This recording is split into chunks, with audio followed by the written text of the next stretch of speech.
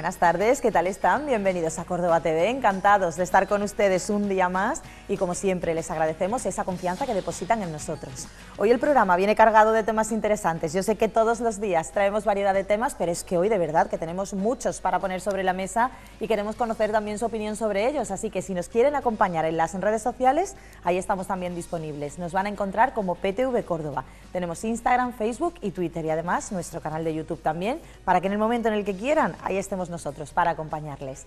¿Y qué, cuáles son los temas que hoy vamos a tratar? Pues yo se los voy a decir en nuestro sumario, como cada día. Vamos a hablar de centros de mayores y de centros de mayores en barrios donde estos son muy necesarios. Aparte, vamos a conocer también si Córdoba tiene o no tiene arte. ¿Es Córdoba una ciudad con arte? Bueno, pues nos lo van a contar desde una nueva asociación cultural que también vamos a conocer y vamos a saber cuáles son esos nuevos proyectos que llegan de la mano de dicha asociación. Más cosas de las que vamos a hablar de Cosmopoética. No nos podemos olvidar de esta cita tan importante que se está desarrollando estos días aquí en nuestra ciudad. Pues su director nos va a acompañar también hoy en directo para contarnos los entresijos de Cosmopoética, que además eh, también tiene a los peques muy presentes. Eh, es que desde pequeñitos ya les tenemos que enseñar esa pasión por la literatura y por la poesía. Más cosas que vamos a tener, pues eh, ya saben ustedes que estamos muy pendientes del proyecto En qué puedo ayudarte, un proyecto del doctor Juan de la Haba, donde los pacientes de cáncer pues viven de una manera distinta y ponen el foco de una manera distinta en la enfermedad. Pues eh, esta semana va a haber una cita muy interesante y llena de preguntas y sobre todo se van a solventar dudas, pues de ello vamos a hablar también en nuestro programa hoy. Y aparte les vamos a hablar de un estreno que va a tener lugar, un estreno cinematográfico cordobés que va a tener lugar el próximo viernes y nosotros nos vamos adelantando ya a esa cita para que ustedes lo tengan también apuntado de cara al fin de semana que ya adelanto que viene cargado de citas interesantes. Hasta la Legión 501 de Star Wars nos va a acompañar este fin de semana en Córdoba. Pues de ello hablaremos también. Y como siempre, nuestra compañera Ana Espino llegará con reportajes diversos, distintos, diferentes y con ese toque fresco que ella suele aportar. Todo eso durante la próxima hora y media, así que espero que nos acompañen y que estén atentos a todo lo que vamos a contar hoy en Córdoba TV. Ya está con nosotros nuestra primera invitada y yo la presento. Además, se viene a hablar de un tema que, como digo, es de actualidad y que además nos interesa a todos, porque ¿quién no quiere el bienestar de nuestros mayores? Eh, y sobre todo, ¿quién no quiere que mejoren las infraestructuras de los barrios de Córdoba? Pues de ello vamos a hablar. Con nosotros está Alicia Moya, la presento. Ella es eh, concejala socialista del Ayuntamiento de Córdoba. Alicia, bienvenida. Gracias por acompañarnos. Un placer poder charlar con usted y sobre todo poder conocer eh, de primera mano cuál es la situación real que se está viviendo en algunos barrios de Córdoba en torno al, tema este eh, que tanto nos preocupa a todos, porque era lo que yo decía, ¿quién no se va a ocupar y a preocupar porque los mayores en cada barrio de Córdoba tengan un espacio adecuado para estar en él y para poder realizar actividades? Correcto. Son, hablas de barrios porque ese es el problema fundamental, ¿no?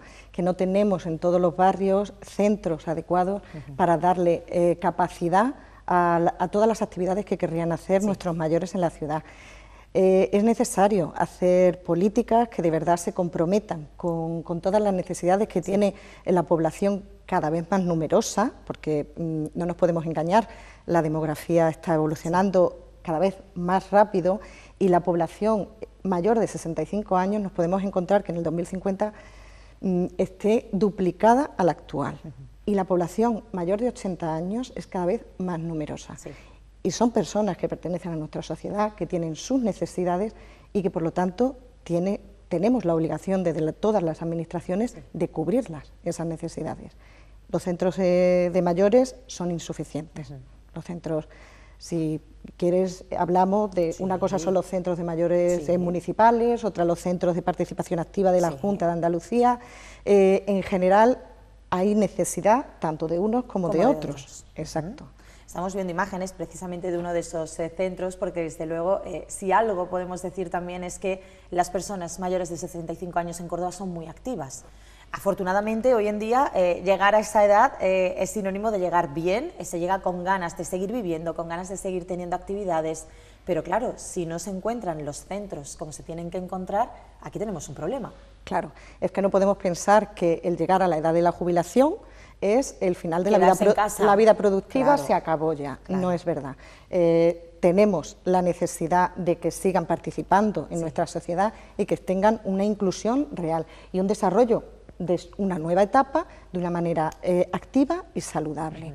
Eh, los centros municipales mm, son muy escasos hay, eh, como he dicho, una, por ejemplo, podemos poner ejemplos. ¿no? Eh, recientemente he estado en la Asociación de Mayores de Platerna, en el Naranjo. La población, con toda la ampliación de Mirabueno y tal, ha multiplicado la población mayor de 65 años y podemos tener 2.500, 2.700 personas mayores de 65 años en esa zona y un local alquilado por los propios, la propia asociación que da servicio diariamente a unas 200 personas que no dan abasto pero si nos vamos a centro estamos en las mismas condiciones, si nos vamos a Valdeolleros también tienen necesidad de centros y, por ejemplo, centros de participación activa. Centros de participación activa eh, donde mm, están completamente saturados. Sureste es un distrito donde tenemos un centro de participación activa con muchas actividades, con muchos servicios, pero completamente saturado. Entonces, se podría hacer un centro de mayores, habría que implicarse en una política realmente eh, de mayor calado y de mayor implicación por parte municipal y hacer centros municipales donde los mayores puedan organizar sus actividades. Y no solo de tiempo libre, también podemos hablar, si quieres, de las necesidades que tienen, no solo de, porque los centros de mayores los tenemos como eh, muy eh, encorsetados en lo que son actividades pues, de mm, desarrollo cognitivo, talleres de la memoria, talleres de cualquier manualidad o actividad que ellos puedan tener, viajes, pero los mayores tienen otras necesidades que también hay que cubrir por parte de todas las administraciones.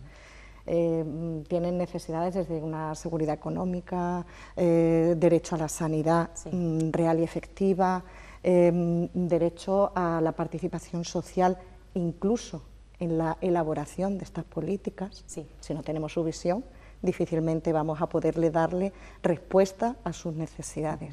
Entonces, todo eso hay que eh, orquestarlo desde todas las administraciones. Yo personalmente me siento muy orgullosa de que el Partido Socialista haya eh, recuperado y, reforzado el sistema público de pensiones con un ocho y medio de subida en este año de las pensiones. Eso también es acometer una necesidad que tienen de tener una estabilidad y una suficiencia económica. O, por ejemplo, las, eh, los acuerdos que, promovió la ministra Nadia Calviño, eh, vicepresidenta en funciones, eh, entre la patronal bancaria y, y las asociaciones de mayores, para que la inclusión financiera fuera Mm, si no real al 100% y efectiva, que se le facilitara mucho y ha tenido buenos resultados, los protocolos y códigos de buenas prácticas en, este ámbito. Pero tenemos que ir a todas las administraciones. Mm, hacen falta centros de participación activa y los están reclamando desde hace muchos años en Levante, en la zona de Sagunt, de, Lepanto. En sureste y en el Naranjo, son principalmente los De participación activa se están reclamándose todavía en, Naranjo y en, la zona de Lepanto. Pero de mayores mm, son mm, múltiples los distritos y seguro que me olvido de alguno, pero está eh, el Naranjo, ¿vale? que no tengan que tener su local pequeñito de 100 incluso si me apuras en Ciudad Jardín, que es un ciudad, eh, el de Poniente, que es un centro que funciona muy bien, pero que está completamente saturado. El otro día me comentaban que tienen socios de la zona de Turruñuelos. Sí. Entonces, ¿y qué Eso quería saber, que eh, zonas en concreto como las que estamos hablando, que no disponen de estas dependencias, eh, ¿qué es lo que hacen las personas para poder disfrutar de su tiempo libre y para poder tener otras actividades que sí se prestan en otros barrios. ¿Se puede? ¿Se puede decir, oye, yo soy tal barrio, pero como aquí no hay, me voy al que tenga más cerca? Claro, hay veces que se buscan, por ejemplo, el tema de los centros cívicos. Sí. Pero si nos vamos a Liguerón, porque cuanto más te alejas del centro y te vas a la periferia, más dificultades y más necesidades hay. Si nos vamos a Liguerón, eh, ya no tenemos ni el centro cívico. Sí. Entonces, eh, volvemos a lo mismo, un pequeño eh, local alquilado por la Asociación de Mayores, que bueno, que si o bien solventan ellos con sus propios fondos, o bien eh, tienen que andar pidiendo subvenciones para poder financiar ese alquiler, y, completamente insuficiente para la población, y ahora ni siquiera tienes el centro cívico para poder em, incorporarte a determinadas actividades allí. ¿no? Entonces, es difícil. Es verdad que son muy activas las personas mayores de 65 años son muy activas, muy, activas, pero se les podría facilitar mucho. Y luego hay una cosa que me gustaría hablar y es la accesibilidad en la calle, en el día a día.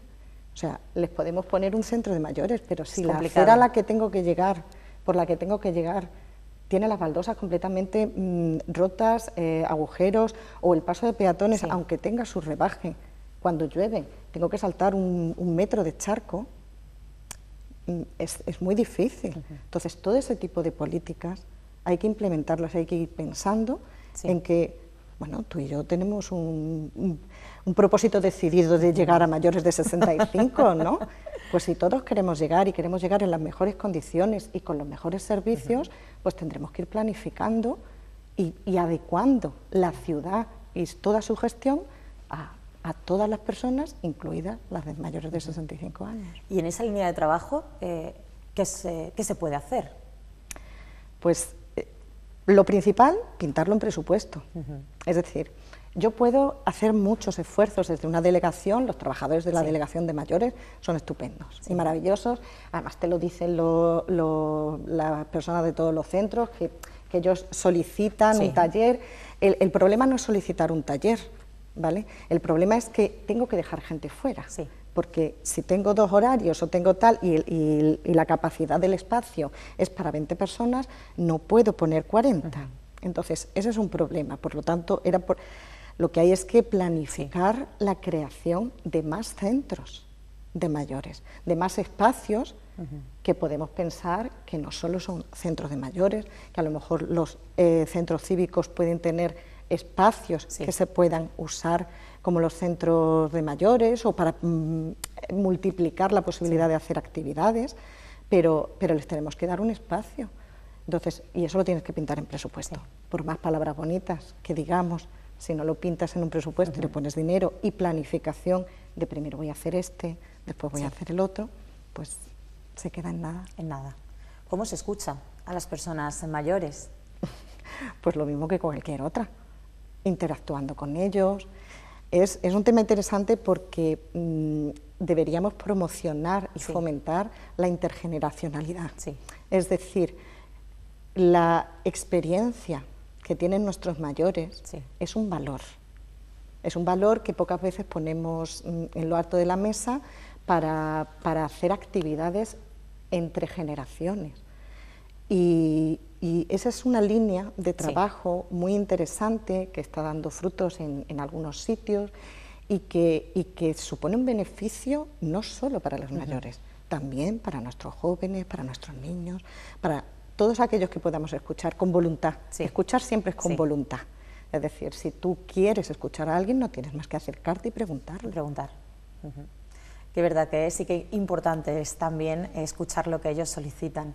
Eh, hasta ahora, ¿qué es lo que se ha solicitado por parte de ellos? ¿Qué es lo que más le preocupa a esta parte de la ciudadanía? Que además, como bien ha comentado usted, cada año avanza en número y parece que no, pero el tiempo va pasando de manera muy rápida y usted ha dado un dato que, es para tenerlo en cuenta, que es que de aquí a nada, como quien dice, se va a duplicar el número de personas mayores de 65 años en Córdoba. Pues fundamentalmente, eh, si hablamos de centros de mayores, les preocupa el espacio. El espacio. El espacio, no tienen espacio, se ven como, y, permítame la expresión, como piojos en costura. Sí cuando hacen una comida, cuando hacen un taller, vuelvo a repetir que se tiene que dar gente. gente. Entonces, espacio para poder mm, compartir. Luego los centros de participación activa eh, mm, necesitan, los necesita la gente mayor muchas veces porque disponen de comedor, disponen de un bar, un sitio donde poder eh, ir, hay mucha gente que vive sola. Entonces, el tener un comedor al que tú acudir con un menú adecuado y con un precio económico. Y no solo por el menú, exactamente, no solo por el menú, sino porque en vez de comer solo en mi casa... Por sociabilizar, que es tan importante. Estoy comiendo con mis amigos, estoy comiendo con compañeros y eh, eso supone una inclusión y una, mm, eh, necesidad cubierta de estar socializando. Y, luego hay un tema también eh, muy importante que es el, el invertir en apartamentos tutelados. Sí. Es decir, la experiencia de Samanarro la estamos viendo, eh, está hecha y aprobada desde hace muchísimo tiempo y por fin parece que eh, se, está, eh, se va a terminar la segunda o se va a hacer la segunda fase, pero necesitamos esas experiencias en todos los distritos. Lo que te dicen las personas mayores es que, uno, yo no me quiero ir a una residencia, estoy en, mi casa, solo, sola, pero no me quiero ir a una residencia. Ahora, eh, sí necesitaría determinadas ayudas, estaría mejor en un edificio así, pero es que no me quiero ir allí, es que este es mi barrio. Es que quiero quedarme en mi barrio, desarraigarte de tu círculo, de tus tiendas, de tus vecinos.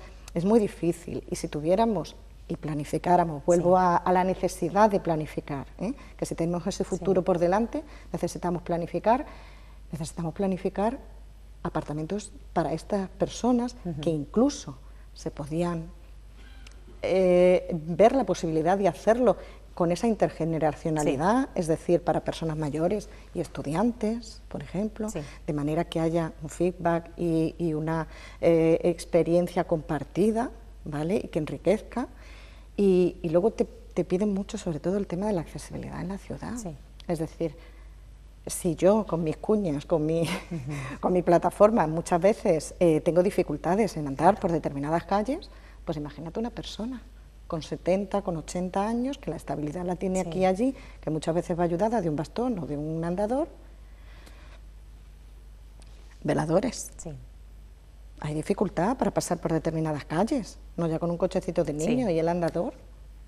Entonces, todo ese tipo de demandas es lo que te piden, no solo los centros. Sí. Adáptame la ciudad, que yo pueda participar de ella.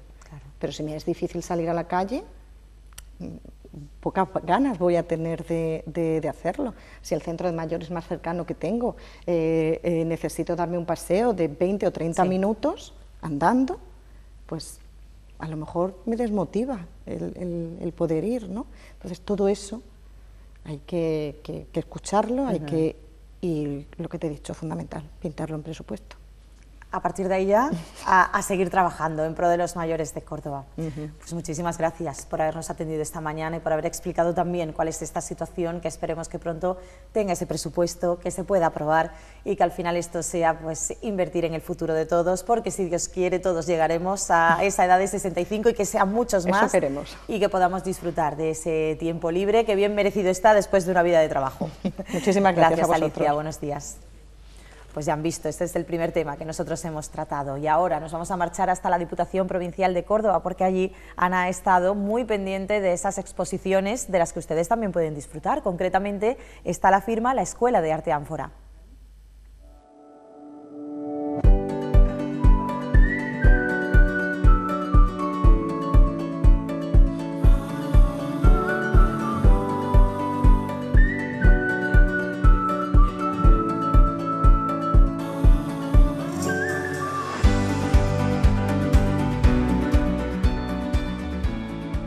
Estamos aquí en el, Palacio de la Diputación de, Córdoba y con una exposición que habla de Picasso. Madre, eh, volvemos otra vez a la carga. Sí, por supuesto, siempre, siempre que podemos es ocasión para exponer los trabajos del alumnado de Escuela de Arte Ánfora. Así que, como tú bien dices, este año ha sido sobre Picasso eh, con motivo del 50 aniversario de su fallecimiento. Entonces hemos intentado que nuestro alumnado infantil y juvenil conozca su obra, no toda porque es inmensa, pero también queríamos que descubriese a Picasso, a otro Picasso, no solo al cubista de la señorita D'Avignon, del Guernica, que es quizá el más conocido por su, claro, por su originalidad, sino otras etapas como la etapa azul, la rosa, lo que son bueno, los cubismos por supuesto, y otras etapas más figurativas, también su vertiente creativa, porque era muy, muy creativo, pues en lo que es cerámica o máscaras que hacía cuando tuvo la influencia africana. Entonces hemos querido que tanto eh, trabaja en la parte técnica, más académica, de color, de mezcla de formación, de forma y demás, pero que también eh, otra parte del alumnado pues trabaja esa vertiente más creativa y lúdica con que Picasso entendió una buena parte de su obra. Entonces hay obra hay cuadros pues a la manera más tradicional y otros que nuestro alumnado ha hecho pues a su manera pues de la tapa azul, de la tapa rosa o han creado obras cubistas o han creado eh, cerámicas de inspiración suya o máscaras, incluso también hemos eh, representado cuadros de él con relieves de plastilina que han quedado muy pictóricos y que ha sido otra manera de interpretar su obra. Entonces, sobre todo fomentar esa ese aspecto creativo y ese aspecto lúdico que desde luego en la escuela, aunque tenemos nuestra parte más técnica, intentamos que todos disfrutemos del arte y de, la, de esta formación artística. ¿De qué edades son los niños que, han hecho todas estas creaciones? Pues desde 5 o 6 años hasta 14, 15, ¿eh? desde lo que es primero de primaria hasta cuarto de la ESO. Se han acercado a Picasso sin ningún complejo, por lo que veo. No, además han disfrutado muchísimo, sobre todo los más pequeños son los que más disfrutan, claro. Además, así debe ser el arte, tanto si es una cosa más formal, más tradicional, como si no. En el caso es aprender y disfrutar. Sobre todo también inculcarle un poco su obra, que es tan importante en lo que es la historia del arte, además siendo un artista andaluz.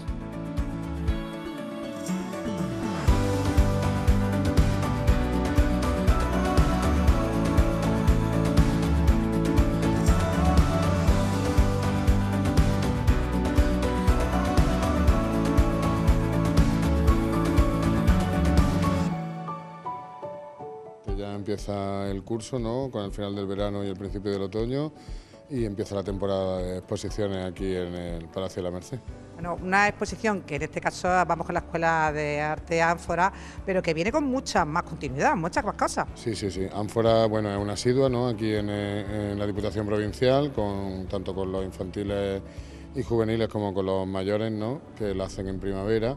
Y sí, ahora van a haber varias seguidas, ¿no? Eh, yo voy a hablar de las de cultura, claro, que son las que conozco, porque el calendario de los demás no, me lo sé de memoria, pero sí, ahora tenemos una muy interesante que se va a hacer en el, próximo mes de octubre, que es la de, la de joyería, ¿no? La de todo lo que brilla, dedicada a la joyería cordobesa, creo que es una exposición muy interesante para que todos los que quieran puedan conocer, y no lo, han hecho anteriormente, puedan conocer las maravillosas piezas que se hacen en la joyería de Córdoba, que es de las mejores que existen.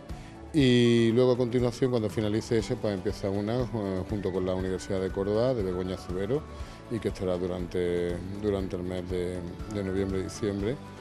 Y también pues se hará en el patio barroco como, como la de joyería. Aparte de la instalación de, de flora que se realiza aquí en, el patio de reloj del Palacio de la Merced, junto con las demás que se realizan en otros puntos de, la ciudad. Bueno, está claro que Diputación se mueve y se mueve culturalmente hablando mucho. Muchísimo. Para eso estamos, ¿no? Es una delegación que, tiene muchas actividades y que colabora con muchísimos colectivos y, pues, con todos los municipios de, de la provincia. ¿no?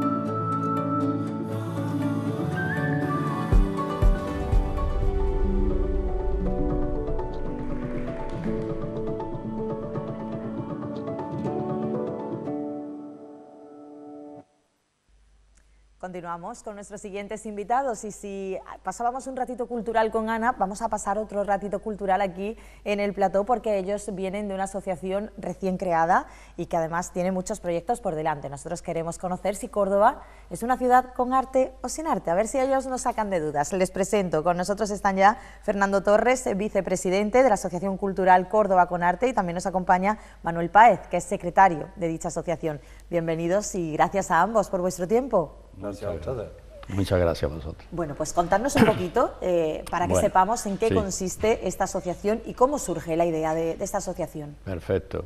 Eh, ya no es la primera vez que nos preguntan por el grupo de WhatsApp que tenemos que quieren adaptarse a ver y preguntar lo que consiste la asociación. Nuestra asociación Cultura Córdoba con Arte eh, se ha creado en este verano, bueno, ya lleva un tiempo el presidente Manuel Jiménez que es una persona muy activa, muy extrovertida, y entonces esta eh, lo hemos creado, entre, ya tenemos la junta directiva eh, de siete personas, entre ellos un poeta. Esta asociación se ha creado sin ánimo de lucro, solamente para apoyar a las personas en todo el abanico del arte que hay, o sea, que sea música, eh, fotografía, pintura, escultura, tenemos de todas, poesía tenemos un gran poeta, después otra muchacha que relata la poesía, en fin, que... Y el que empieza como el que acaba. todos aprendemos unos de otros eh, del arte. El arte no es en exclusiva el que tiene una titulación, aquí alberga a todo el mundo. Y es lo más bonito que Córdoba mm, debe de tener eso, ¿no? que las personas estén animosas y estén contentas, por eso la hemos creado. Independiente cada uno que haga lo que quiera. Y nadie, si uno lo hace peor, me pregunta el otro día en la exposición, del gris, del nuevo gris, con, el, tema de Picasso en los 50 en aniversario. No voy a hablar de Picasso porque ya Picasso lo conoce todo el mundo, la biografía. Pero, mm, hombre, eh, es un, referente como artista porque era polifacético. Y entonces, pues claro, la gente, los agregados dicen, bueno, pero es que yo no eh, llevo muy poco tiempo. Digo, pero da igual, tú a lo mejor haces una cosa que yo puedo aprender de ti. Le da ánimo a las personas. Entonces, eso es lo que buscamos, el, que las personas se, se, abran y, en la pintura, en la escultura, en la música. Bueno, el otro día cantó una muchacha que cantaba divinamente, yo de cantar no sé nada, pero oye, se anima y estamos, estamos abiertos a todos. Así que aquí el secretario es un, gran artesano también. También. Sí, bueno, bueno, pues ya está. Nosotros vamos a hablar de la Asociación Cultural Córdoba con Arte, que es lo que nosotros queremos hacer darle publicidad, a ver si tenemos muchas personas que se animen, que están en sus casas. Sí. Nenas, nenes, mayores, jóvenes de todas las edades, abiertos a todo el mundo, sin titulación de nada. Hombre, que hay otros que son profesores, y hay, pero bueno, que no tiene nada que ver. Uno aprendemos de otros. De otros. Perfecto. Aquí lo importante es tener ese toque de arte, ¿no? Ya cada uno... Esa mijita. es, solamente, con eso ya nos vale, ¿no? Esa mijita que te sale de adentro. Ahí está. Eso es lo que vale. Con eso ya nos vale. Sí, y a ver si nos dejan más sitios, que podamos, se puedan hacer buenas exposiciones para que todo el mundo lo conozca. Que no solamente nos conozcan en este bar porque hemos hecho una exposición o en esta sala porque hemos hecho una exposición, no, sino en todo Córdoba. ¿eh? Donde haya sitios donde se pueda exponer y estás pintando a la vez. También. O estás haciendo algo la vez para que la persona que vaya vea lo que estás haciendo y que lo haces tú. Que no lo hace ese que tiene muchas cosas a máquina, sino que lo haces tú a mano. A mano. Eso es importante y además yo creo que aquí eh, se ha creado una unión muy buena porque estamos hablando de arte mm, pues con el abanico tan amplio de posibilidades que mm, esa palabra ofrece. Todo. Cualquier cosa, efectivamente. Es decir, que aquí no se cierra solamente a pintura. Eh, no, no, no, Aquí cabe cualquier tipo de, arte. El baile incluso, que no lo he nombrado, bueno, todo lo que es arte. Hay una señora de Posada que vino el otro día y claro, no estaba en la asociación, la cogimos en el WhatsApp porque claro, ahora tenemos que hacer la ficha, en fin, lo, el protocolo que existe, hombre, para que las personas, porque aquí es sin ánimo de lucro, porque mucha gente dice, no, es que, digo, no te preocupes que aquí no hay que pagar nada, solamente eso, tenemos ahora mismo, buscando un local, tenemos la sede en mi estudio, bueno, mi estudio, mi pequeño estudio que hay en la pista de padres, pero que lo que te quiero decir, que el problema de la asociación está ahora mismo surgiendo de la nada. Sí. Y vamos a ver si Córdoba con Arte, la asociación va para arriba, porque tenemos muchos proyectos. Tenemos proyectos eh, para exponer en Andalucía lo primero. Sí. Málaga, que es una ciudad también muy acogedora. Yo conozco mucho de, Málaga. Esto podemos ir a Almería, Granada, a todos y después fuera de, esto de después tengo que puntualizar una cosa que en la exposición esta que tenemos, la segunda, no la del nuevo gris, sino la exposición esta que tenemos de, del Lagartijo, la calle Lagartijo número 22, que es el Buda, el nombre es un mesón, ahí tenemos, que la inauguramos el otro día, el mesón El Buda, ahí tenemos también extranjeros, de Venezuela, de México, de Cuba, si no me equivoco rectifícame, y de otros más, porque somos muchos. Entonces hemos cogido, ellos están encantados, pues nos han mandado por internet su pintura, la hemos fotocopiado, la hemos marcado y lo tenemos allí puesto. No sé si lo habrá visto en el vídeo. Entonces, unas son de México, otras de Venezuela, de Colombia y de Cuba. Y entonces, pues ahora el cuadro, si quieren, como tienen su número de móvil, si quieren contactar a algún cliente, oye, pues también, ¿no? y en fin, que estamos abiertos a todo el mundo, que no es solamente España, sino a nivel mundial. y eso es muy importante, que Córdoba se acoja, Córdoba, hombre, patrimonio de la humanidad, pero de mucho patrimonio, más que toda España, ¿eh? o sea que eh, yo soy cordobés, bueno, del castizo del campo, la verdad, y, hay que darle ánimo a esto, que Córdoba... Que yo soy de los patios San Francisco. Y este también, de los patios San Francisco. Somos nativos de aquí. de, Córdoba a Córdoba. Córdoba Córdoba. Nativo. hombre, yo vivo mucho en Málaga, pero bueno, que da igual. Que Córdoba hay que darle a también es nutrirse, ¿no? Que es lo que habéis comentado. Nutrirse unos de otros. Aquí todo el mundo puede aportar. aprender uno de otro. Aprender. Muy bien. ¿Qué aportáis personalmente cada uno de vosotros? a ver, ¿qué parte artística tenéis vosotros por delante? Ah, bueno, él puede hablar de su Yo soy artesano. Yo lo que hago es mm, de todo en miniatura, desde muebles en góticos hasta un simple avión, que es una lámpara, un barrilito de vino minúsculo sí. ¿eh? o una librería grande. Mm, de todo eso hago yo. Son diseños míos sí. ¿eh? y es en lo que me entretengo. ¿Y de dónde, de dónde te viene a ti esa parte artística? Pues mira, esa parte artística me viene de hace 30 años que me dice mi sobrina, Tito, porque nada más hace un armarito para la ropa de la Barbie. O sea, que la culpa es de la sobrina. Sí, y digo, ah, pues venga, te lo voy a hacer. Y mira por dónde le hice el armarito, por ahí empecé, empecé, empecé y ya llevo 30 años. Casi nada. Es mi hobby. Casi nada. ¿Eh? ¿Y cuál es la pieza así más eh, especial? Aparte de ese armario, ¿no? Con el que comenzó la historia. Para mí es que son todo un pedacito mío. Porque como pongo mi pedacito de corazón, todas son. Hay una más que otra. Sí. Es un mueble que vendí. Se lo vendí a un señor de Inglaterra. ¿eh? Ese era mi reina. Sí. Después están las princesas, como yo digo. que también las tengo expuestas. Una está en, gris. y otra está en Buda. En el Museo Buda. Pero vamos, en Buda tengo varias. Sí.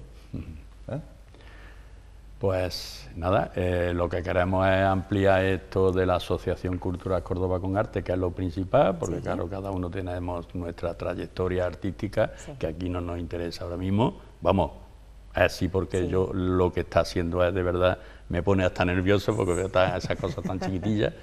Por eso te digo que aprende uno de otro. Yo aprendo de él, aprende de mí, eh, la muchacha que viene con 20 años aprende de otra cosa y así.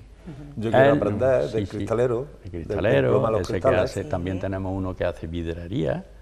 Eh, es un hombre ya, pues mi edad tendrá. No, es que tiene mi edad. Nació en el 51, así que tiene mi edad. Este, oye, y es que, mira que he conocido nombres en la vida. Sí. Y sin embargo, este se llama, ¿cómo se llama? Esto, Natalio. Natalio. Natalio. Tengo mi nieta que se llama Natalia. Sí. Y digo, Natalia, he conocido a uno, pero es Natalio, ¿no? Como tú. Gracioso. Y es gracioso, pues ese te hace una vidriera que no veas. Muy bonita, es de toda la vida del hombre, pues. Y después hay otra muchacha, como otra, la, la poeta, que no sé si en el vídeo viene, eh, recitando una poesía con una muchacha con 20 años que recita a cabeza, ¿eh? La poesía. Después tenemos a Enrique, que es de la asociación, que también es poeta y eh, es, en fin, que y, más añadir que tenemos en proyecto exponer en, en esto, ¿cómo se llama? La carrera del caballo. La colina. En la colina, que no me acordaba, la colina, tenemos en proyecto, claro, ya se están apuntando personas, porque lo decimos por el grupo WhatsApp. Y, en fin, unos con miniatura, otros con escultura, hay una escultora, hay una ceramista. Como ya te he dicho y como tú lo has dicho, abierto el abanico para todas las artes, desde el baile, cante y, pintura. Ya hay fotografía entre todos.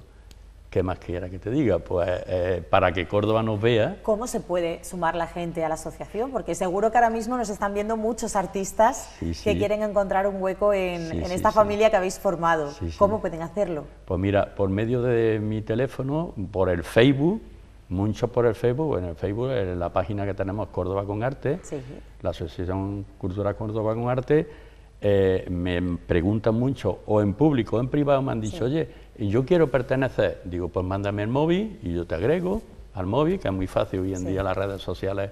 Eh, gracias a ellas estamos, hay que saberlas también usar, es lógico, porque todo hay que saberlo usar, si no te caes, lo agrego al grupo de WhatsApp. Lo que pasa es que hay personas que Claro, dice, oye, que me suena, pues mira, quítale el sonido, porque claro, aquí cada uno pone lo que quiere, es un grupo abierto y no puedes decirle a ninguna persona porque claro, no, ellos... No compartas. claro, es que el problema es ese que tenemos muchos y ya tenemos 60 y tantos, cerca de 70. O sea, y que, hay, eh, artistas en Córdoba, que yo comenzaba la entrevista preguntando si Córdoba es una ciudad con arte o no. Uy, con arte, Con mucho arte, ¿no? Lo único que voy a hacer un inciso es que no se preocupan no se preocupan los que tienen que preocuparse del arte, porque Córdoba es cuna del arte de todos los ámbitos.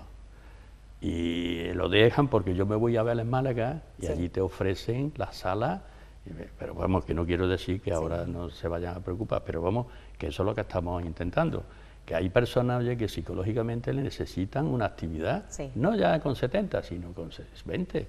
Necesitan, pues yo estuve dando, en, ahora estaba hablando con la concejala esta de participación ciudadana de hace 20 años, y allí estuve yo dando un taller que me dijo el, teniente alcalde, y habían personas, mujeres que iban solamente por distraerse. Oye, pues dos horas que estaban allí, dos horas que estaban distrayéndose. Y esta asociación lo que pretende es eso, distrae a las personas con el arte. y, otra cosa, pues mira, eh, ¿cómo más tu pregunta? Asociarse. Ahora de momento es en el WhatsApp. Sí. Yo le tomo nota al número, lo meto en el grupo y ahora posteriormente le vamos a hacer una ficha, porque hay que pagar, de aquí ya lo digo, para que lo vean, vamos a pagar al año un número simbólico que son 15 euros para mantenimiento, porque claro, el otro día tuvimos que ir pidiéndole a a los participantes dos euros, hombre, es un poquito engorroso. Entonces, pues mm, se da 15 euros anuales que diga, eso tampoco es una cosa que todo el mundo puede, ¿no? 15 euros, hombre, que no pueda, pues ya averiguaremos.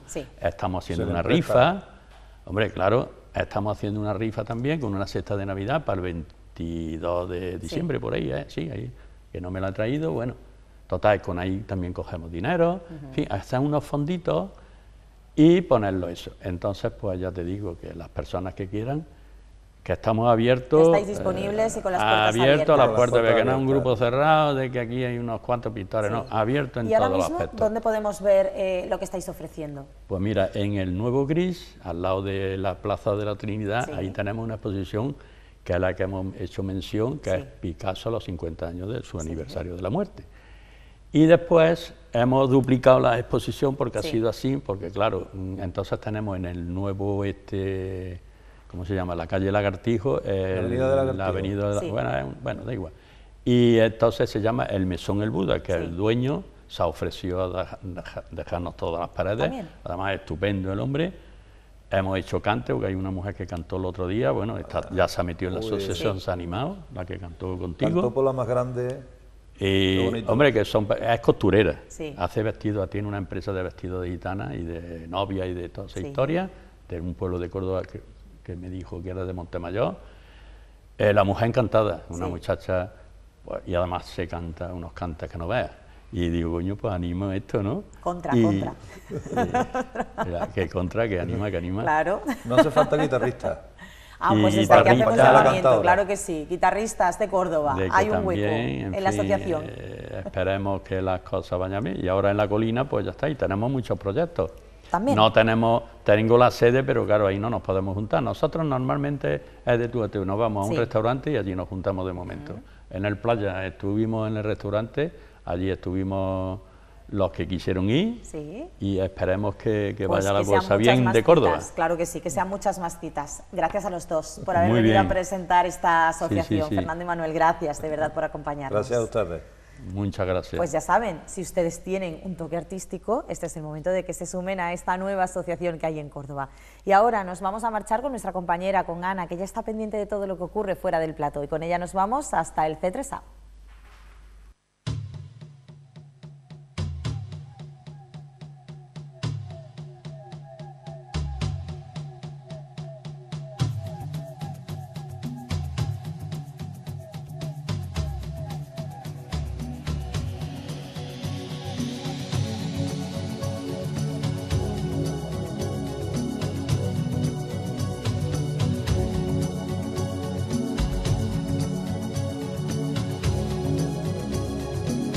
Reparar. Término que parece estar en desuso, que no tiene lugar donde acoger lo mucho que cuenta, que se dice y se solventa, con pase rápido la trastienda de lo inútil. Y a lo mejor por eso, precisamente por eso, palabra que contiene cura y mimo, tiempo y reposo. Escucha y atenciones.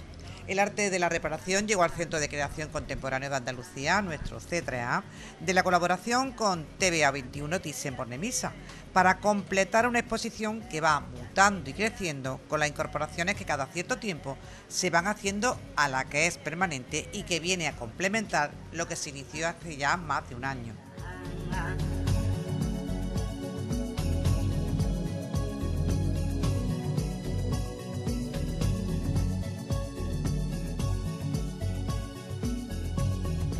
Encontrar y dar con nuevas formas de producción, de acción e investigación, priorizando conservar el medio ambiente, siempre ha sido la premisa fundamental para estas exposiciones.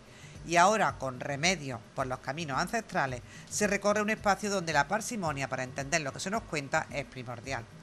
Una ceremonia ritual de sanación y reparación abrazó a todos los que quisieron acercarse hasta el C3A para recibirla, y fuimos muchos los que nos dejamos guiar por cánticos y salmos de los líderes amazónicos de la tribu Junicuín, que desapareció prejuicio y vergüenza y nos puso a todos a danzar y dejarnos llevar por lo que dieron con tanto amor.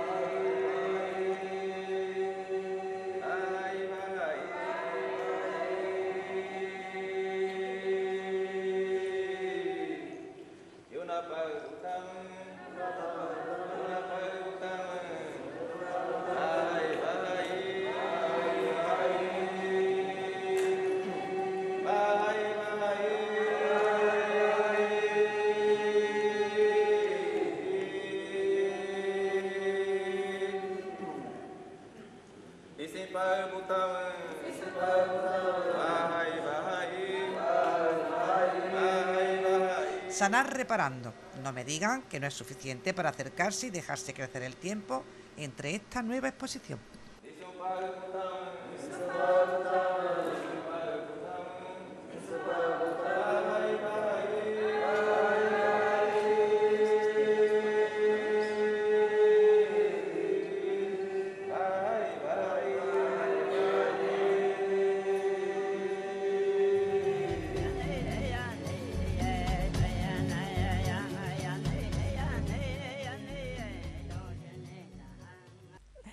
Seguimos en directo en esta tarde y con nosotros está ya nuestro siguiente invitado, él es Javier Cantero y bueno, pues le ponemos cara y voz porque ya saben que nos ha acompañado tanto Ana como a mí en distintas ocasiones eh, porque seguimos muy de cerca un proyecto que nos parece muy interesante y muy necesario sobre todo porque eh, ¿quién nos ha tenido que enfrentar, sino de manera directa, de manera muy, muy cercana, a una enfermedad como es el cáncer, a ese diagnóstico, a ese eh, primer trato ¿no? con los profesionales eh, que durante un tiempo van a acompañar a la persona que lo padece y también a sus familias? Bueno, pues este proyecto, que comenzó hace ya tiempo y que, como digo, nosotros hemos seguido de cerca, da un pasito más y lo va a dar este próximo viernes por la tarde en una cita más que interesante y precisamente de ello vamos a hablar con nuestro siguiente invitado, Javier Cantero. Gracias por acompañarnos, bienvenido. Muchas gracias por, por invitarme. Bueno, pues ¿en qué te puedo ayudar? Yo creo que es una pregunta que todos tendríamos que lanzar al menos una vez al día. Sí se ha convertido en un proyecto, como yo digo, al que se han ido sumando muchas personas a lo largo del tiempo que, lleváis eh, realizándolo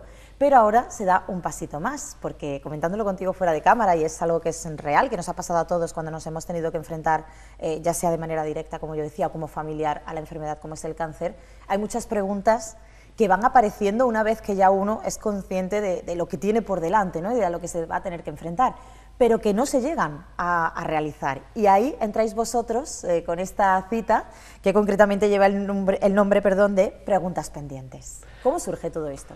Pues mira, surge del día a día en consulta, de identificar que hay cuestiones que se van planteando de forma recurrente, pero bien luego surgen temas que se intuyen, pero que no están claros y que no se preguntan. Entonces hicimos un cuestionario hace tiempo para poder organizar precisamente acciones que respondieran a las necesidades reales y ahí empezamos a identificar temas que si bien en directo no se preguntan, sí se consideran importantes.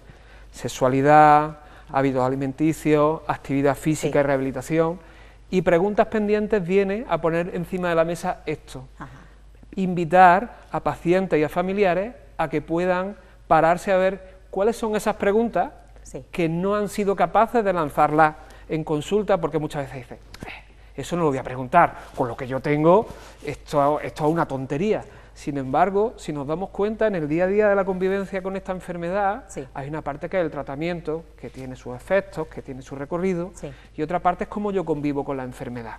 Entonces, muchas veces preguntamos del tratamiento o de los efectos secundarios, pero nos dejamos atrás preguntas como, mira, es que fruto del tratamiento, yo tengo una sequedad vaginal y resulta que la actividad sexual resulta una tortura. ¿Esto cómo lo puedo gestionar?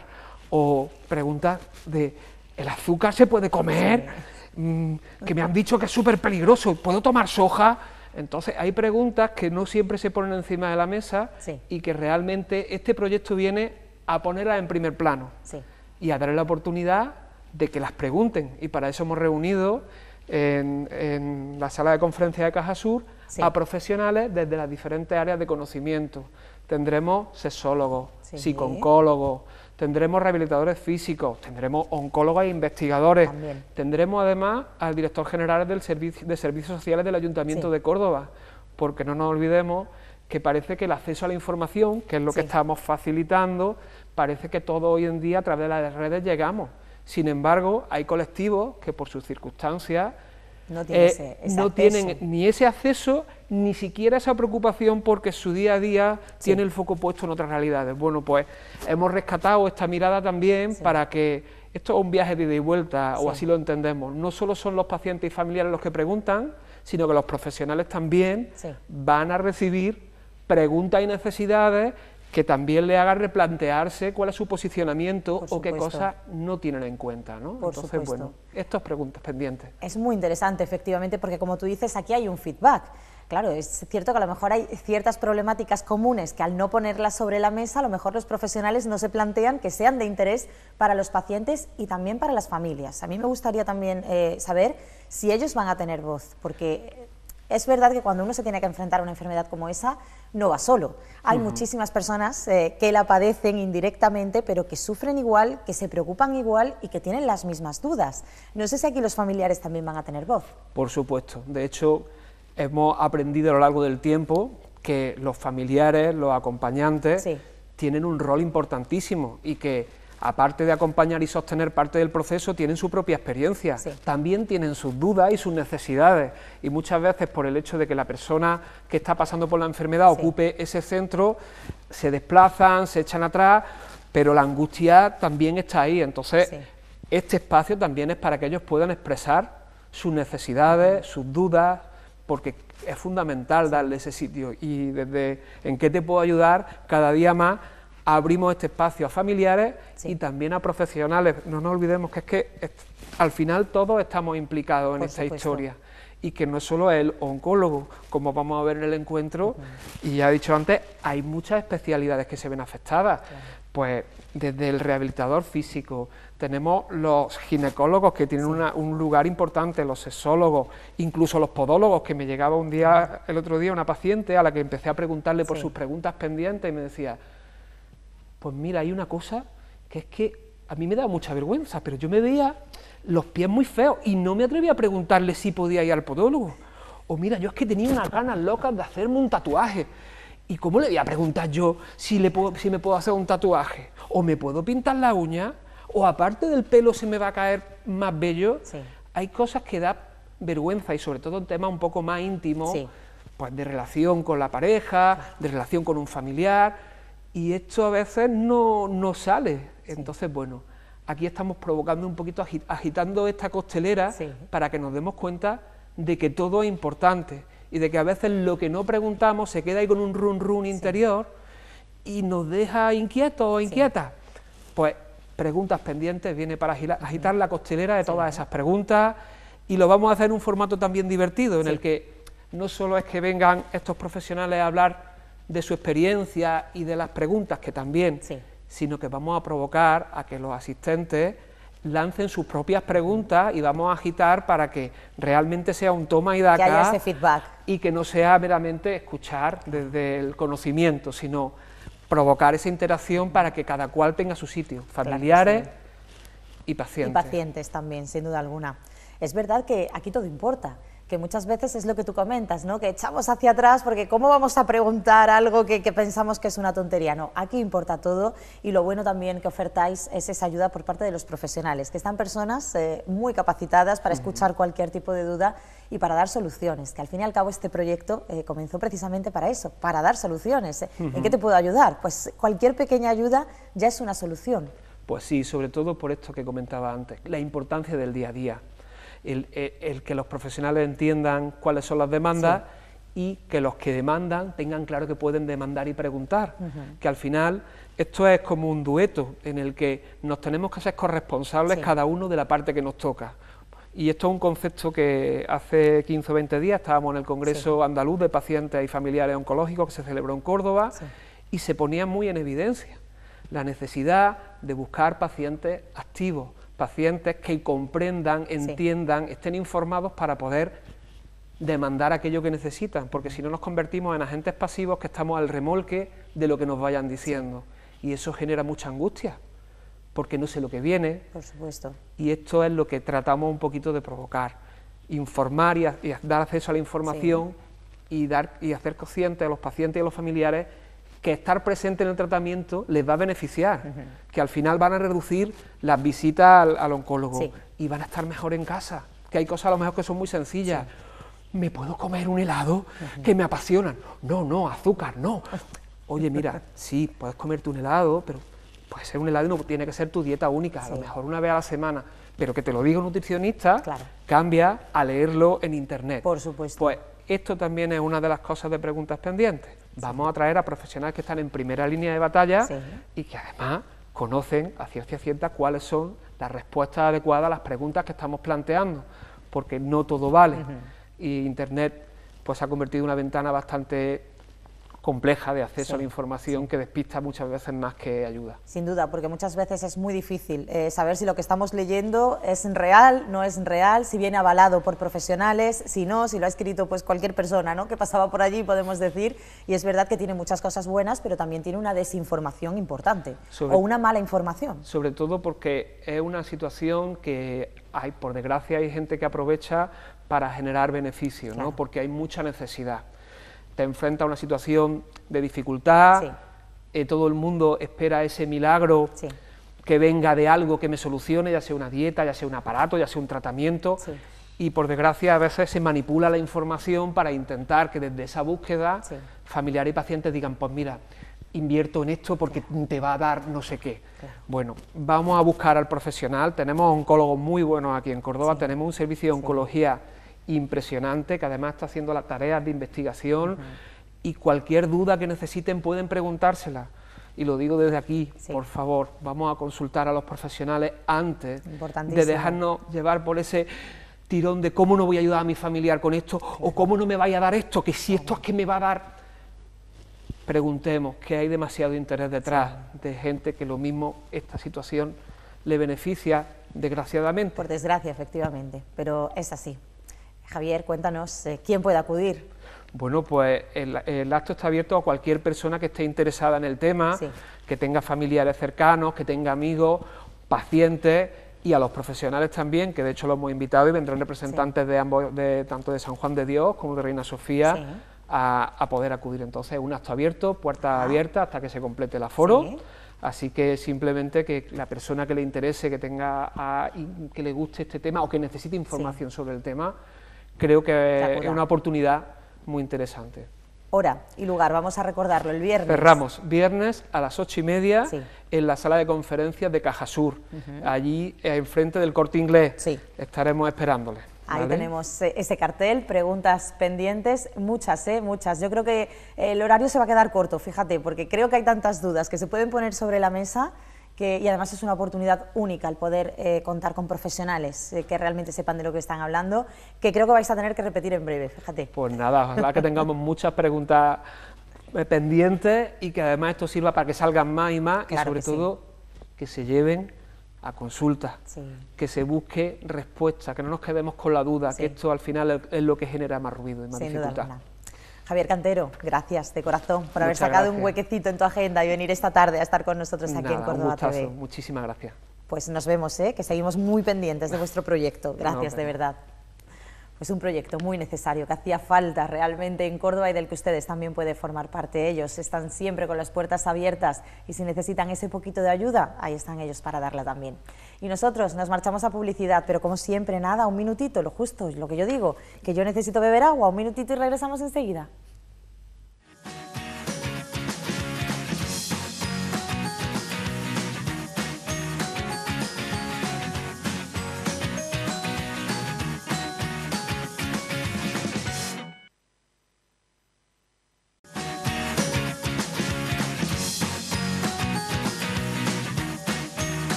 Y lo hacemos con nuestros siguientes invitados, que no sé si se acordarán ustedes de un proyecto cinematográfico muy interesante del que hablamos de aquí en Córdoba TV y estábamos pendientes de que saliese adelante y de que finalmente pudiese ser presentado. Pues ha llegado el día, todo llega en esta vida, todo lo bueno se hace esperar, pero llega también. Y de eso queremos hablar con ellos. Ya están aquí, los presento. Con nosotros están Francisco Recio y también Teo Martínez. Eh, ellos vienen a hablar de La Luna de Babel, este proyecto cinematográfico, como digo, que en su momento ya se presentó aquí en PTV Córdoba. Chicos, bienvenidos de nuevo. Enhorabuena, porque por fin ha llegado el día del, estreno o del preestreno. Después de dos años casi, ¿no, Teo? Dos años. Hemos conseguido hacer el preestreno, se, se, estrena mañana, el día 5, a las 6 de la tarde, en la Filmoteca de Córdoba. Sí. Allí estaré yo, estará todo el equipo y el que se quiera, que sea con ratito libre, vaya a la vea, porque estoy seguro que, que va a encantar. es una película, como ya sabéis, que habla de temas muy duros, como por ejemplo el bullying, ciberacoso, el suicidio, que como ya sabéis es un tema tabú en redes y, y en televisión. Sí. Así que nada, yo invito desde aquí a que la gente vaya a verla y, yo creo que se va a llevar más de una sorpresa. Hombre, sin duda alguna. ¿Cómo ha sido todo el proceso de estos casi dos años? Em, bastante complejo, sufrido, sobre todo por las limitaciones eh, que conlleva un, cine de guerrilla, un cine de bajo presupuesto. Pero bueno, Fran teniendo la edad que tiene, eh, supo afrontar todo y el proyecto ya es una realidad. Yo creo que hizo una labor muy, muy interesante y la productora quedó muy contento de haber podido participar y que contara con nosotros. Él, simultáneamente era nuestro tercer largometraje, a la vez en paralelo, y dividirnos para llegar a cubrir las necesidades de Fran y poder ejecutar un proyecto que sea digno. Eh, supuso un reto, pero aquí está. Aquí está, ha llegado el día. La verdad que ha sido un proyecto muy cercano, que se ha hecho con compañeros y amigos míos, y aquí, en este caso, la productora Blagear Media y personalmente Teo Martínez me han tratado como si fuese de su familia y me han hecho el trabajo muchísimo más fácil y le voy a estar siempre agradecido por, por ello. Por ello contarnos un poquito qué es lo que vamos a poder encontrar, sin que haya demasiados spoilers, porque hay que estar mañana con vosotros en la Filmoteca, pero contarnos eh, qué historia es la que contáis vosotros, valga la redundancia. Pues nosotros contamos la historia de un chico mm, llamado Aitor que, que es eh, acosado a través de Internet. Sí. ¿Qué pasa? Que un chico llamado Philip Budekin eh, es, un, estudiante de psicología que decía que en el mundo sobraba gente, contacta, con Aitor y le obliga a jugar a un juego, un aparente juego inocente llamado La ballena azul. Este juego consta de 50 retos, un reto por día, siendo el, reto número 50 la muerte, el suicidio en este caso. ¿Qué pasa? Pues que este chico tras la pantalla pues está siendo, está siendo amenazado, si no hace los retos pues le amenazan con hacer daño a, seres queridos, a familiares. Y bueno, es real, ha habido, muchos niños que han muerto por culpa de este juego y yo quería hablar con, con, familiares, en este caso reales, para poder hacer el guion, la película, pero no, no pude. Por eso no está basada en hechos reales, está inspirada. inspirada. Pero bueno, nos centramos sobre todo en la historia, en, los sentimientos de ese chico y, como desde dentro. Yo nos centramos en, el interior del protagonista y, desde ahí la hemos llevado. A mí hay una cosa que me gustaría matizar respecto a eso. ¿no? Yo viéndolo a través de la pantalla como director de fotografía, lo que me atrajo del proyecto es que yo tengo personalmente un caso muy cercano, de, igual de una amistad y pérdida por suicidio. Y la película trata un punto muy importante que no solo es la el, estar afligido de, la persona que llega a tomar esta decisión, sino de las consecuencias que deja en el mundo y del vacío y, la pérdida real y ausencia que, se denota. ¿no? Mm, creo que el personaje que interpreta Fran lo llega a plasmar muy bien. Creo que es muy interesante porque damos por hecho que que el suicida acaba en su muerte y no es así, sino que permanece y permanece de una manera muy distinta. Sí. Entonces, de hecho, el estado de psicosis que luego llega a tener una persona que, que, que, tiene el duelo de un suicida, crea un estado permanente de psicosis, en el sentido de que todos se vuelven suicidas potenciales. Sí. Eh, creo que lo, refleja muy bien la película, ese, ese, estado, y que es muy interesante. Sí. Además, eh, sois eh, muy jovencitos, todas las personas que han formado parte de este proyecto aportan esa parte de juventud y eso es importante también porque es verdad que cada vez llama más la atención el número de personas que se suicidan con una edad muy temprana, una edad muy joven, y que vosotros deis voz a, un hecho como es ese, creo que es importante también, que es de las películas que hay que ver porque van a calar en, la sociedad. No sé si sois conscientes de la importancia que eso tiene. Sí, al fin y al cabo nosotros queremos prevenir sobre esto. Eh, el personaje protagonista pues tiene actitudes que, que presenta dentro de, la pantalla que, puede prevenir, a, por ejemplo, a unos padres que puedan ver esas actitudes de su hijo. Y sí, la película es una película muy joven, casi todo el elenco son, son, personas jóvenes. Al fin y al cabo, el bullying y el ciberacoso se suele dar entre los jóvenes. Así que la mayoría del elenco es muy joven. ¿Cómo ha sido darle forma a todo esto? ¿Cómo ha sido el proceso de grabación, la postproducción, hasta llegar a, a ese estreno de mañana? ¿Cómo ha sido? Pues se... fue, fue, muy bonito. fueron 17 días, 20 de rodaje intensivos, porque contaban con actores de Madrid, este Javier Bódalo y Daniel Retuerta. Entonces cuadraron una agenda eh, a nivel de producción y logística, el grabar todo y precisamente con un, un presupuesto muy ajustado, eh, se solventó eso con una preproducción. Es decir, ante menos presupuesto, más preproducción, sobre todo para saber afrontar las adversidades que se pueden generar en un rodaje y sobre todo en un rodaje que se hace en los meses de diciembre, cuando hay fechas de por medio de festividades, cuando la gente está más ocupada y la adversidad del clima, que no siempre es bonito trabajar con frío. Pero la realidad es que una vez hecho eso, inicia el proceso de montaje. A mí personalmente eh, yo no soy el productor de la película junto a Fran, es mi compañero Alex. Yo intento mantenerme más en la parte creativa, no me gusta la parte de, logística, pero sí que mm, quise intervenir con el proceso de, formación de Fran como director Nobel. Yo dirigí una película cuando tenía su edad. Eh, yo soy un poco mayor, aunque traga años, pero, la realidad es que em, quería que sintiera lo que es ser director y el director no termina solo en en la grabación, sino que continúa en montaje. Entonces, para mí era importante que él supiera lo que es montar su película y darle forma a, las, a la historia, porque es cuando se escribe, es la narrativa. Una cosa es el, el, rodar y dirigir actores, estar junto a la cámara y buscar el plano, pero otra cosa es que el trabajo real del director es, es más similar a un escritor. Sí. Y contar una historia y tener una narrativa visual propia que él desarrolla.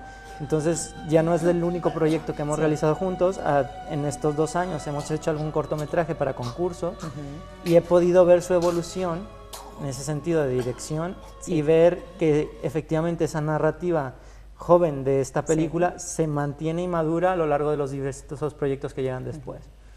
Entonces es muy bonito el proceso creativo, siempre es bueno ver a algún director. Yo antes que cineasta soy cinéfilo. Sí. Entonces, cuando alguien viene con propuestas, y en Black Hair Media es la metodología de trabajo que tenemos, eh, lo recibimos con brazos abiertos, sin recelo, porque las nuevas historias son lo que nos alimenta como cinéfilos. Entonces, siempre que alguien quiere que llegar con propuestas, con guion, es escucharlo, ver cómo se puede hacer, orientarlo, sobre todo porque los presupuestos que se manejan en nuestra ciudad son limitados, eh, bastante limitados, pero porque no hay cultura de la industria cinematográfica y es, es normal, no, no, pasa nada, pero existe un colectivo, digamos, en la ciudad que intenta solventar eso es importante efectivamente lo que estás comentando, que exista este colectivo que piensa en solventar todo eso, porque eh, Córdoba eh, debería abrir las puertas al 100% a proyectos como este, que además, como digo, creo que, son importantes y a los que hay que darle visibilidad. Mañana es un día grande para vosotros, precisamente por esa visibilidad que se le va a dar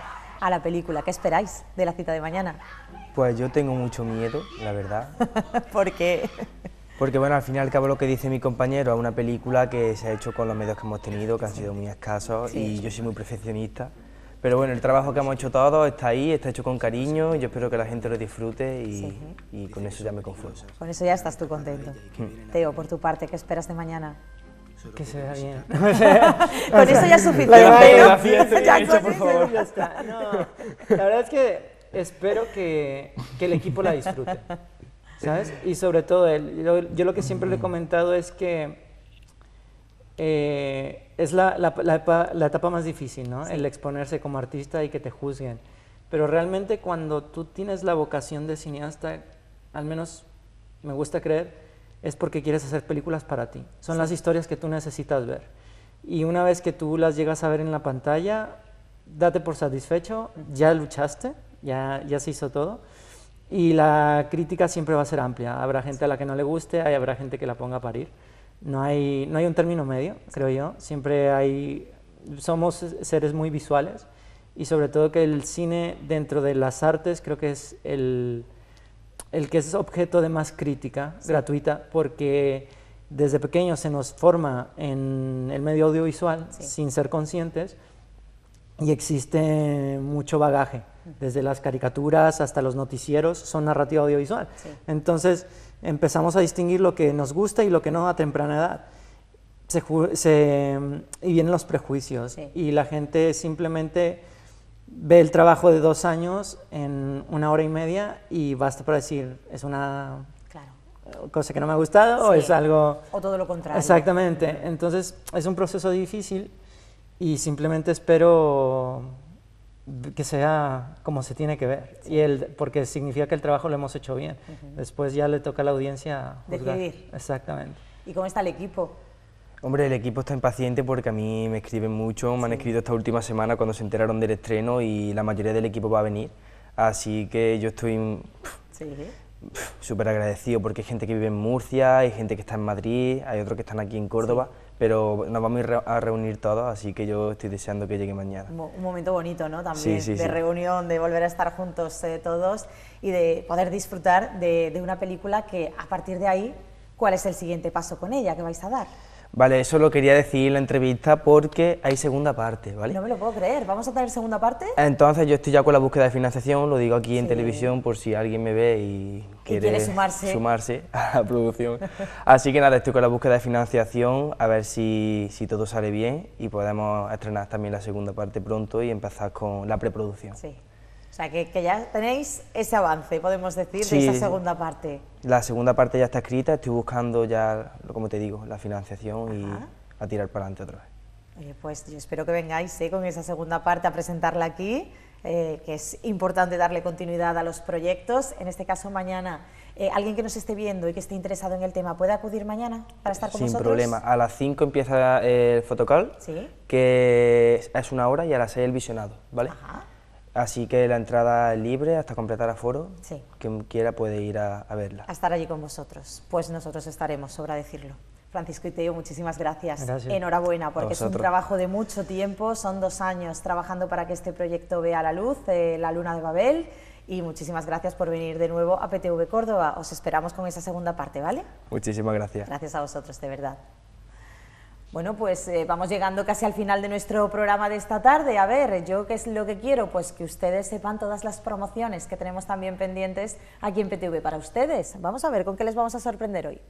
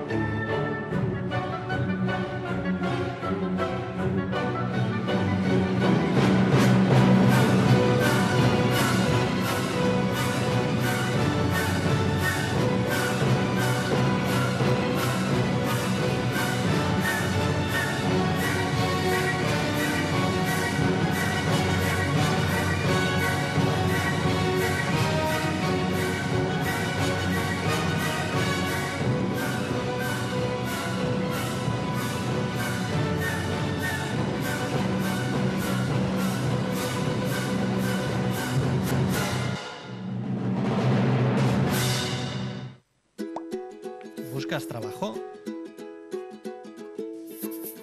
Nos encontramos en pleno proceso de expansión y buscamos nuevos talentos. Visita nuestro portal de empleo e inscríbete en la oferta que más te interese. Entra en el apartado Trabaja con nosotros de nuestra web. O si lo prefieres, manda tu currículum a selección arroba ptvtelecom.com o llama al 1650. Te esperamos. PTV Telecom, de total confianza. Descubre Zapi.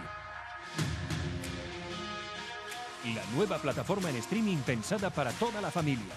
Cientos de películas en las series más populares y una amplia variedad de canales temáticos para ver dónde, cómo y cuando quieras. Con Zappy Kids, los más pequeños siempre tendrán algo divertido que ver.